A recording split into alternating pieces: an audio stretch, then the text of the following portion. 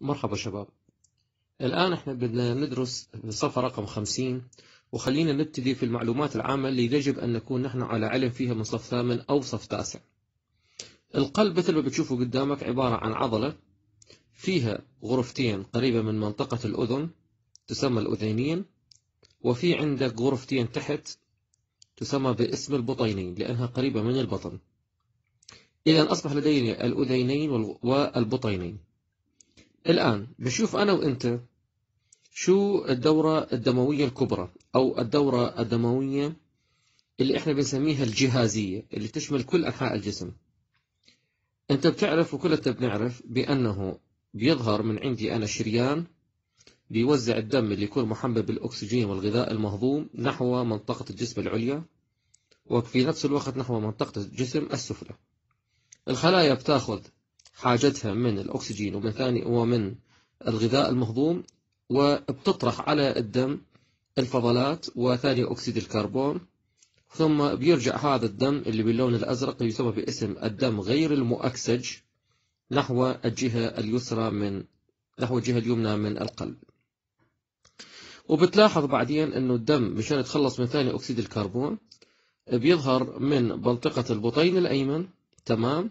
دورة دموية جديدة اسمها الدورة الدموية الرئوية. بلاحظ فيها أنه الدم بيروح باتجاه الرئتين. هذا فص الرئة اليمين. تمام؟ وهذا هو فص الرئة الشمال أو اليسار.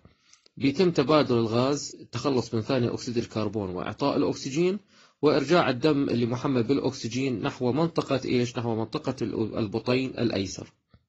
ومن البطين الأيسر بيكون بهيك حاله هو محمل بالأكسجين بيرجع يظهر من منطقة الأذين الأيسر ومن الأذين الأيسر يرجع ينتشر مرة ثانية في الدورة الدموية الكبرى.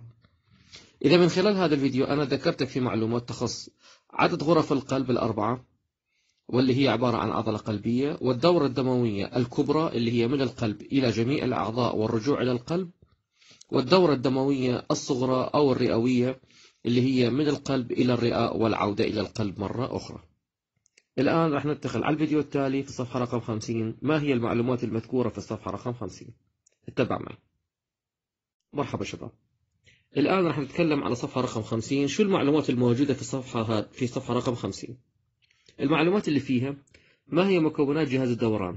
مكونات جهاز الدوران عبارة عن أوعية ودم وقلب. القلب هو عبارة عن المضخة اللي بتضخ الدم. والأوعية هي اللي بيجري فيها الدم باللونين الأحمر والأزرق اللي أمامك يعني الدم المؤكسج باللون الأحمر والدم غير المؤكسج باللون الأزرق بالإضافة إلى وجود الدم اللي هو يتحرك داخل هذه الأوعية. هذه هي مكونات جهاز الدوران. يوصف جهاز الدوران بأنه مغلق. ليش؟ لأنه الدم بيتحرك داخل هذه الأوعية من القلب والعودة إلى القلب. فنظامه بيكون إيش من النظام المغلق. في السطر الثالث بيقول لك أنه الدورة الدموية كم نوع؟ دورتين الدورة الدموية الجهازية والدورة الدموية الرئوية. تمام؟ طب شو وظيفة جهاز الدوران؟ وظيفته هو نقل الأكسجين والمواد الغذائية والمواد الأخرى الضرورية مثل الهرمونات إلى الخلايا. ويخلصها من إيش؟ يخلصها من ثاني أكسيد الكربون والفضلات النيتروجينية. إذا الدم اللي باللون الأحمر هو اللي بيوصل الأكسجين والغذاء المهضوم الجاهز الخلايا مشان تستفيد منه واللي باللون الأزرق هو اللي بيتخلص من خلاله. الخلايا تتخلص من ثاني أكسيد الكربون وكذلك من الفضلات اللي موجودة في داخلها. انتهت إلى هنا صفحة رقم 50 ننتقل هلا مباشرة على الصفحة رقم 51 مرحبا شباب.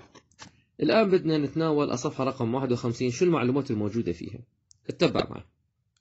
بتلاحظ هون في عندك أنت منطقة الوريد وهون منطقة الشريان وهذه هي الشعيرات الدموية اللي تربط ما بين الوريد والشريان. شايفين علي كيف؟ لما أنا أجي أطلع أول مرة على شو هي مكونات الشريان وشو المعلومات الخاصة فيها؟ إذا حيكون دراستنا من صفحة رقم 50 51 إلى صفحة رقم 52 اتبع معي. بالرسم أولا. بلاحظ أنا قدامي. هذا هو الشريان. الشريان, الشريان مثل ما بتلاحظ قدامك في طبقة داخلية وطبقة وسطى وطبقة خارجية. تمام؟ وبيظهر من الشريان شريين صغير ويربط الشريين عبر الشعيرات الدو... عبر هذه الشعيرات الدموية الرقيقة مع الوريد وهو جزء جدا ضئيل من الوريد. نيجي نشوف الطبقة الداخلية.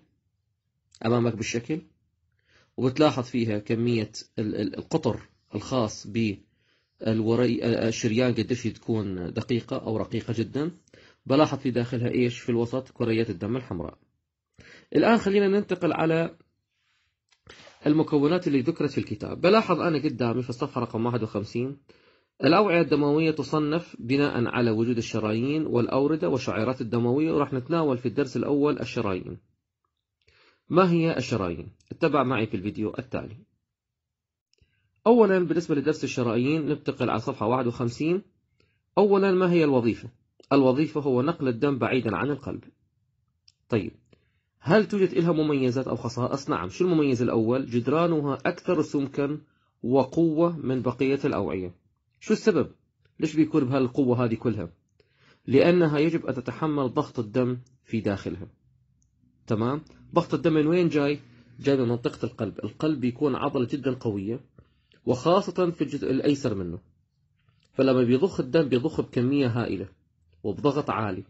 فيجب أن يكون هذا الشريان اللي باللون الأحمر ذو قوة عالية لهذا التحمل لهذا النوع من أنواع الضغوط. الآن خلينا ننتقل ونشوف على صفحة رقم 52 ما هي المكونات التفصيلية المذكورة في منهاجنا فيما يخص موضوع الشرايين. أولا الطبقة الداخلية وهي عبارة عن طبقة رقيقة مؤلفة من نوع واحد من الخلايا الطلائية. الطلائية بمعنى خلايا بتطلي أو بتبطن. تمام الوعاء. الطبقة الوسطى تحتوي على الألياف المرنة والعضلات الملساء والألياف الكولاجين.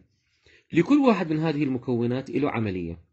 يعني مثلا الألياف المرنة ماشي مهمة جدا لتمدد الوعاء. والعضلات الملساء مهمة جدا لقطر هذا الوعاء مشان هذا الوعاء يتمدد في القطر تبعه أما بالنسبة لألياف الكولاجين فهو بيعطي المنظر الصلب للوعاء. يعني تخيل معي مثلا عندك هذا القلم. هذا القلم منظر القوة تبعه من وين جاي؟ من البلاستيك. فالبلاستيك اللي فيه هو معطي هذا المنظر القوة وهذا الصلابة. فهذا بيكون الكولاجين تمام؟ لما أنا أجي أطلع هلأ أنا بطلع على هذا القطر. قطر هذا الوعاء. نفرض أنه هذا القلم اللي قدامك هو الوعاء الدموي الشريان. القطر من المسؤول عنه؟ العضلات الملساء.